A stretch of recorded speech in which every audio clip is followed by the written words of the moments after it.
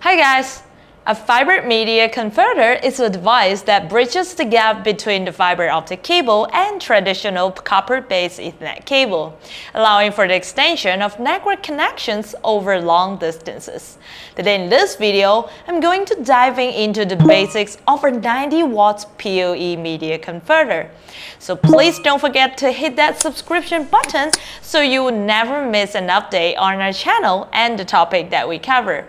And if you want to know more information, you can check out our website www.fastcabling.com.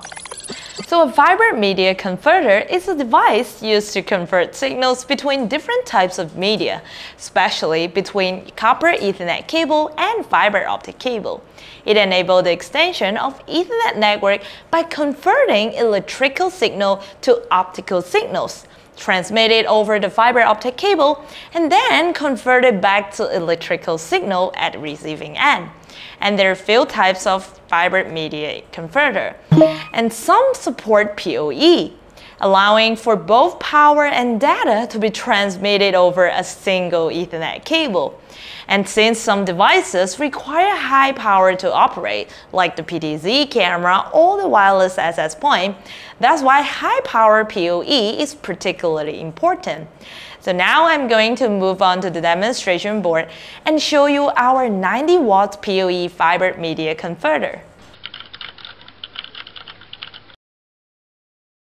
So today we are going to connect to this PTZ camera and a wireless access point using this compact 90 watts PoE fiber media converter. Now this converter can support up to 1 gigabit per second high-speed data rate with plug-and-play installation. There is no configuration required. It can provide up to 90 watts of high-power PoE output, but then it would need to add a power supply. This is the industrial power supply that act as alternative stable power source to AC outlets by generating DC power. And it can provide continuous 120 watts output power. So without saying, let's do the connection together. So first, let's use a short patch cord to connect our router to the NVR. And then using another one to connect the router to our switch to provide data. Now this is an SFP transceiver. We'll need this because this is where we connect with the fiber optic cable. And this is usually sold separately because it has to determine what kind of fiber optic cable that you use and the connector that you use. So let's plug it into the SFP slot. Now this is a pre-made fiber optic cable and it's already 100% tested in the factory. It's using LC adapter and it has four string. So let's use string A. It has letter on each string. So let's plug it into the SFP transceiver. Here we go and we use string A. So this is a 300 meters fiber optic cable. It can provide high speed, low latency, and longer distance. Now let's come over to this side now. We have the media converter. It has a DIN rail mount, and all we need to do is mount it on the rail. Just like this. Or maybe I will show you after we connect it. And now, remember, we connect with string A. So this is string A. Use our media converter to plug it into the SFP slot. In here, let's plug it in with string A. Now on the other side, we are going to plug in the Ethernet cable so we can connect to our edge device. Let's plug it in here.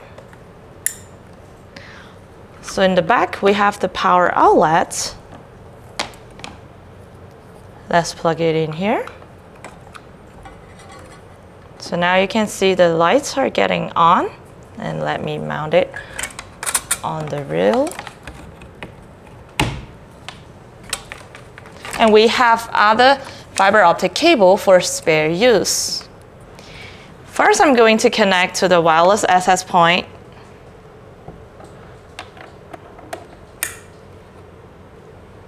And just wait for a little bit. We can see the indicated lights are on. So now it's getting power and it need a few seconds to get the data also. Now let's try out the PTZ camera.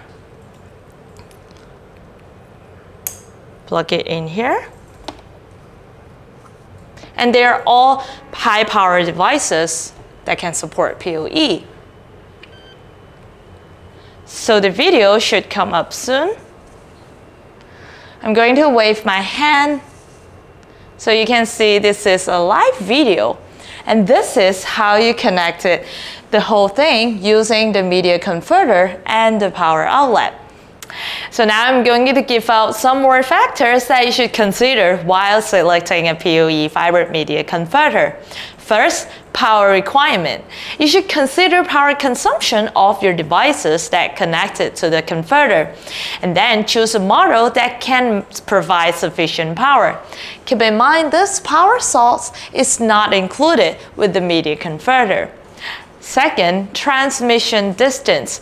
You should consider the maximum transmission distance because excessive cable length can result in signal loss or degradation.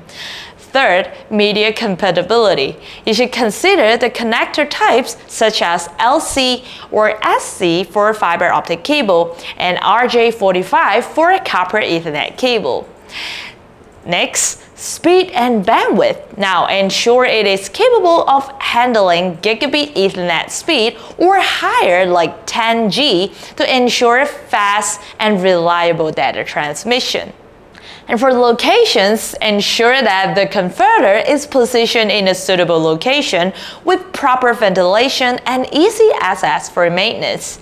And for cable choosing and management, you can use high quality fiber optic cable and copper-based Ethernet cable to ensure optimal performance and reliability.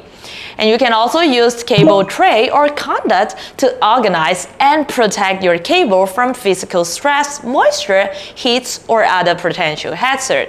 And you should seek for professional help if needed. So don't miss out on this opportunity to receive expert guidance by sending us your questions through the link down in the description box below. And our team of experts will get back to you as soon as possible. And thank you very much for watching.